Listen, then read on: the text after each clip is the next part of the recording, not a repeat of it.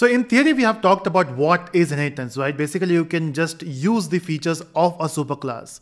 Let's try to implement that in this code. Of course, we'll not be working with humans anymore. Let me just remove the entire code from here and all gone. And let me also make sure that this is empty, gone. So we have a very simple method, which is main here. Now what I want to do is I want to take the same example of calculator here. So let me create a class called calc. And of course I can just create this thing uh, in some other files as well that actually makes sense. But just to keep it simple, I'm using the same file here. So we got a class called calculator and in this I can add some methods and some variables. So let's say I will define some methods here and I will say public int, it can add two numbers. It will accept two integers as well. I will say n1 comma n2. So we got two variables, right? And then I can just return n1 plus n2, okay? Now let's say in this calculator we have two methods. One is add and one is sub, which is sub here and there's there will be a subtraction operation. So we got two methods, right? Now one thing to remember, if you look at our file explorer, every time you get a file, it also creates a class file. So for every class in your code, it will have a class files. We have used a calculator, a computer, human, student before, and that's why we have all these classes. What I will do is I will just delete them. Okay, so you can see all these classes are gone. In fact, let me also delete the demo one to see what happens. And that's fine. You can also delete, you can delete all the class files. So every time you compile the code, it will also create a class files for you. Let me, let me show you that. So I will say javac, and if I mention the, the file name, which is demo.java, the moment I say enter, it will create two class files because we have two classes. If I go to Explorer, you can see we got demo.class and we also have calc.class. Now, when you run this code, if you say Java and if you say demo, uh, it will just run the class files. And as you can see, we are we don't have any code here for calculator, so it will only run the demo class. And that's how it works. So if I just try to write this code here, which, which we already have, and if I try to create object of it, let's try creating object of it. In fact, let me do one more thing before we start. Let me, for this example, let me cut this part and create a new file. And let me say this is calc.java and yes, we have this code here. So you can see now we have two files and before I continue, I will just delete this class files again. Okay, class file deleted.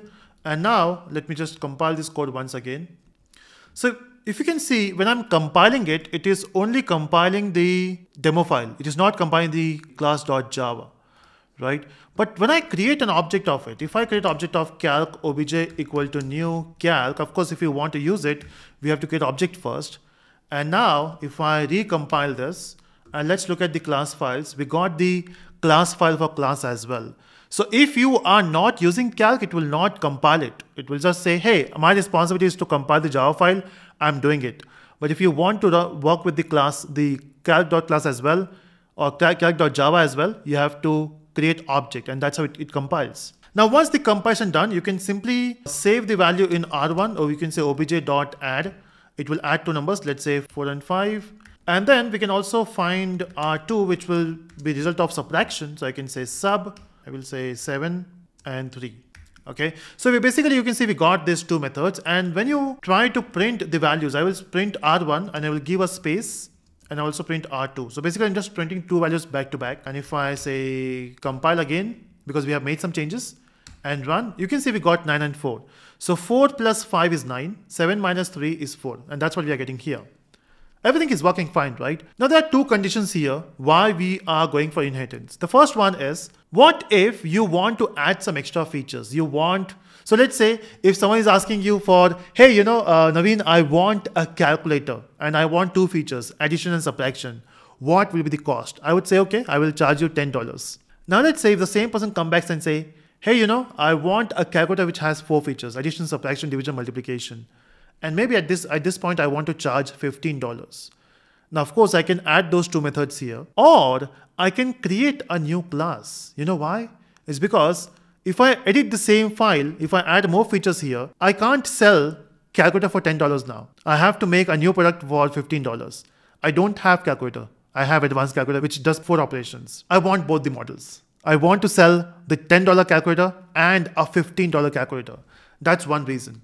Okay, so let me just do that. So let me create a new calculator and I will say this is advanced calculator, which has all the features, .java. And in this, I will basically have two more methods, which is public int multi, which will take two values and it should return n1 into n2. And likewise, we'll have one more method here for division. So this is div and division, we have to say slash. That's it. So we got advanced calculator, which has two features. But now, if I create an object of advanced calculator now instead of normal calculator, I can I can access multiplication and division. I can't access add and sub. And that's why you can see we got an error here.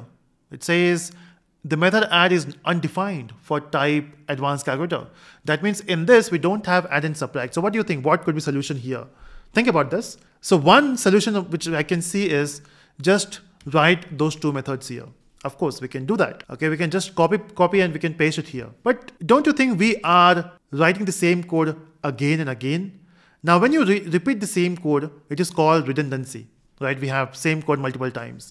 And redundancy is a crime. So make sure that you don't repeat the values. You don't repeat the uh, methods, definition, and classes. The point is, if I don't define it here, how will I access them? That's where the inheritance concept comes into picture. So inheritance says, hey, don't worry. If you already have a class called calc, you can simply say extends calc. Your job is done.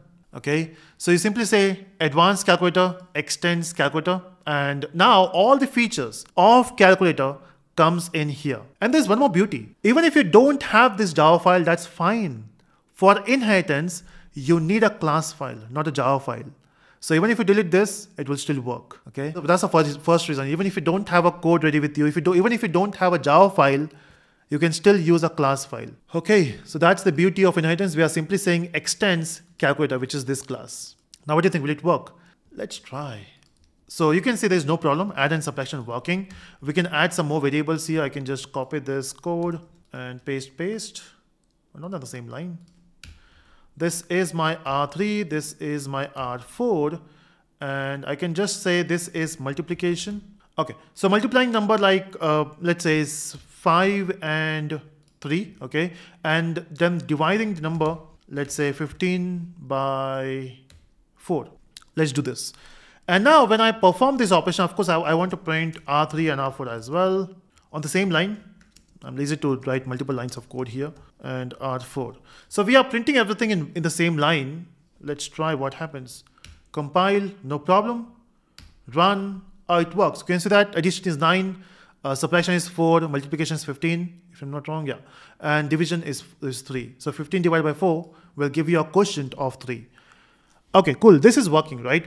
So this is how we use inheritance. So important thing here is this advanced calculator here is called a subclass. This calculator here is called a superclass. And to inherit, we use a keyword called extends. Okay. And this is basically a relationship of is a. Uh, advanced calculator is a calculator. And that's why we say is an important word there. Cool. Can I can I have multiple classes inheriting each other? We can. That we'll see in the upcoming videos. At this point, we just went for a simple inheritance where we just use the feature of a superclass. You can say parent has all these two features. Child is just extending it or using it. I can say this is nepotism. So that's it from this video. I hope you enjoyed and see you in the next video.